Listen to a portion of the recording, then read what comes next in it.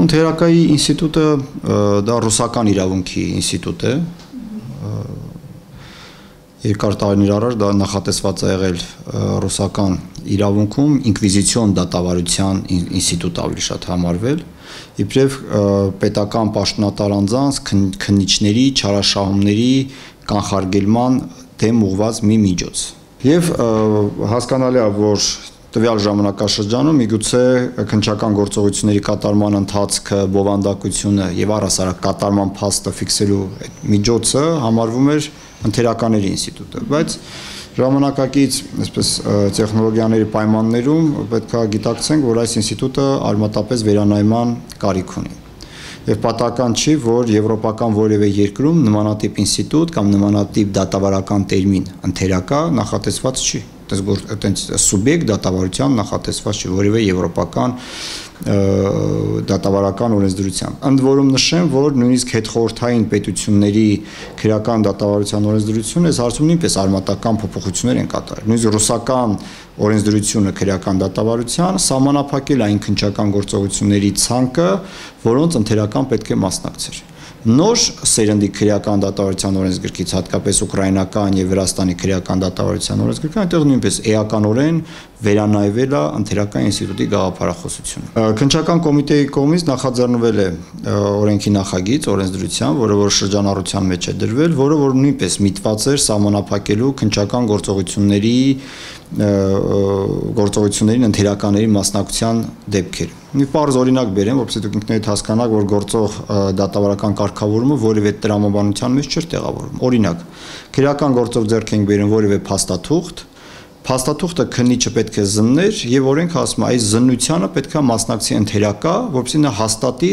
զննություն կատարելու փաստը, ընթացքը եւ բովանդակություն։ Այն պարագայում, որ այդ փաստաթուղթը կցվելու է քրեական գործին այդ փաստաթուղթը քրեական գործի մասը լինելու եւ եթե դատավորը հետագայում դատախազը ցանկանա ծանոթանա քրեական գործում այդ փաստաթուղթը կա կարող անմիջապես կարդալ, ընկալել եւ համտեսխան դատավարական գործողություններ կատարել։ Ինչն է տրամաբանությունը, որ այս պարագայում մենք ներգրավում ենք երրորդ անձին, որպեսզի նա գա այդ հաստատի այդ գործողությունը կատարելու փաստը։ Ընթերական ինստիտուտը խոցել է նաեւ էթիկայի տեսանկյունից շատ դեպքերում։ Օրինակ, կատարվում է դեպքի վայրի զնություն, դիակի զնություն ներողություն Թեակի զնություն,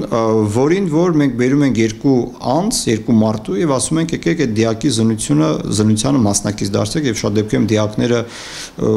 այն տեսքի չեն, որը որ հաճելի կլներ որևէ մեկը գարմանից մասնագետներն են այդ դիակի զնությանը բավականին այսպես ծանր պայմաններում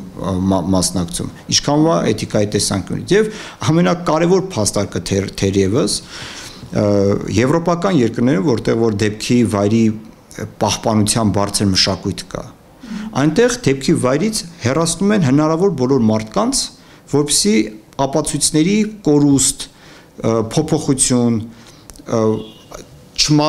վարույթին չվերա չմասնակցող անձանց հետքեր չմնա։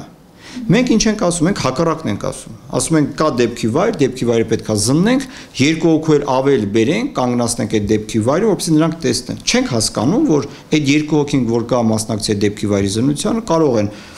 թողել մատնահետքեր, կարող են թողել, չեմ անում, մազի հետքեր, մազ,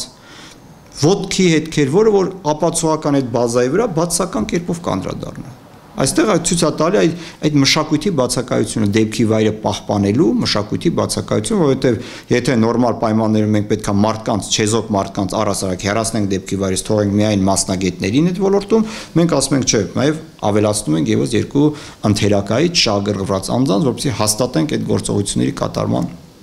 փաստը։ Սրանք այն այն այնպեսի པարզ ճշմարտություններ են, որոնք որ ամեն անգամ բարձրաձայնվում է եւ գիտության մեջ եւ իրավակիրար պրակտիկայում, սակայն կարծեք թե տեղից սայլը չի շարժվում։ Եվ բարեբախտաբար այս նախագիծը դրվել էր շրջանառության մեջ, հավաքվել էր բոլոր այդ կարծիքները, ամփոփվել էր, ուղարկվել էր կառավարություն, կոմիտեում քննարկվել է պետայրավական կոմիտեում, այնտեղ հնչել էին առաջարկներ, նորից լրամշակված տարբերակը ուղարկվել է կառավարություն նախագծին ընդհանուր առմամբ մոտեցումը նոր ընթերական ինստիտուտի հետևյալն է. Կան քնչական գործողություններ, որոնց քննիչը կարող է ներգրավել կամ ընթերականների, կամ տեսաձայնագրառել։ Օրինակ, դեպքի վայրի զննություն, օրինակ քնչական փորձարարություն, ճանաչման ներկայացնել, Սրանք քնչական գործողությունները, որ քնիչին տրված է հայցողություն, ընթերական ներգրավի կամ տեսած զայնագրառի։ Ընդ որում շատ կարևոր հանգամանք է, որ նախագծի մեջ տրված է նաև տեսած զայնագրառման ընթացքին վերաբերող որոշակի երաշխիքներ։ Այսինքն նստակ ամրագրված է որ քնիչ եթե տեսած ձայնագրառումը, ապա պետքա տեսած ձայնագրառումը այն եղանակով կատարվի, որ դա ամբողջությամբ ընդգրկի քնչական գործողության ողջ ընթացքը տեսանելի լինի, չընդհատվի տեսած ձայնագրառումը։ Իսկ մենք նաև հաշվի ենք առել հնարավոր չարաշահման տարբերակները եւ տեսած ձայնագրառման պարագայում ֆիքսվել են նաև օրենքով, նախագծով ամրագրվել են նաև այդ երաշխիքները։ Կան քնչական գործողություններ, որտեղ որ ընթերակայի ինստիտուտ այսպես չի նախատեսվում օրինակ մարդու մարմնի վրա քննում կատարելը մարդու մարմնից փորձանմուշներ վերցնելը ցեք փորձանմուշ վերցնում ենք շատ դեպքերում փորձանմուշը վերաբերում է մարդու նեղ մասնավոր կյանքին օրինակ կարող է մեղադրյալից վերցնենք սերմնահեղուկի փորձանմուշ Հիմա մենք ինչա նշանակում է պետքա բերենք երրորդ մարդուն անթերակայի մասնակից դարձնենք, որովհետեւ թե ինչպես են այդ քնչական գործողություն։ Պարզա որ սա վերաբերում է արդեն մասնավոր կյանքին, մենք իրավունք չունենք։ Քննում Քննումը դա այն քնչական գործողությունն է, որը առնչվում է մարդու մարմնի վրա հետքերի հայտնաբերմանը։ Եթե քննումը զուգակցվում է մեր մերկացնելու հետ, բնականաբար այստեղ ոչ ընթերակապտի մասնակցի, ոչ էլ կարող է տեսանկարը հանելու։ Մենք այս պարագայում, եթե չի, չի մասնակցում ոչ ընթերական, ոչ տեսանկարը հանում, եթե պայմանավորված է մարդու մասնավոր կյանքի հետ, քրեական դատավարությունում նախատեսված է մասնագետի կամ բժշկի ինստիտուտը։ Այդ քնչական գործողությունների պարտադիր մասնակցում է կամ մասնագետ, կամ փորձագետ, կամ բժիշկ Սրանք այն սուբյեկտներն են, որոնք որ նույնպես գործի երկով շահագրգռված անձիկ են, եւ եթե կասկածի տակ դրվի վաղաչեմսորը քնիչի գործողությունների իրավաչափությունը, սրանք այն սուբյեկտներն են, որ կարելի է հրավիրել եւ դատարան հարցակցնել, իրանք մասնագետ են, փորձագետ են, մասնակցել են, մասնագիտական ֆունկցիաներ են իրականացրել եւ հնարավոր է նաեւ նրանց միջոցով բարձր քնիչի հնարավոր չարաշահումներ։ Բայց ոչ տեսանկարահանում, ոչ էլ ընթերական զուտ մասնագետ, բժիշկ կամ փորձագետ այդ երկու քնչական գործողություն են։ Եվ նորությամբ կրկնում կա երրորդ բլոկը քնչական գործողությունների, որտեղ որ որևէ մի երաշխիք պետք չի, քանի որ այն փաստաթուղթ այն առարկան, որը որ մենք զննում ենք, ինքը քրեական գործին կցված է։ Այստեղ ոչ ընթերական ինստիտուտ է պետք, ոչ տեսանկարահանման ինստիտուտ է պետք։ Արդեն նշեցի, փաստաթուղթ զննելը, իրեղեն ապացույց զննելը։ Ինչի նկարահանեմ իրեղեն ապացույցը,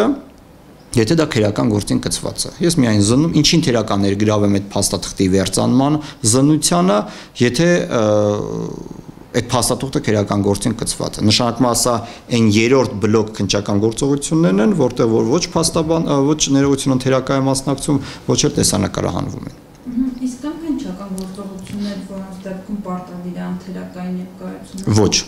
չկա որևէ քնչական գործողություն, որի համար պարտադիր է, մենակ մի դեպք ենք նախատեսել, թե նախատեսել թողել են գործող կարգավորումը, դա բնակարանում խոզարկություն կատարելն է բնակարանում խոզարկություն կատարելու գործող կարգավորման համաձայն պարտադիր մասնակցումը եթե հատկապես չափահաս անձինք չեն բնակարանում մասնակցումը համատիրություններից կամ տեղական ինքնակառավարման մարմիններից ներկայացուցիչներ Սա կարևոր երաշխիք է, սա պետքա պահպանել։ Ինտերակա չեն իրենք, բայց փաստացի բովանդակային առումով կատարում են ինտերակայի գործառույթ։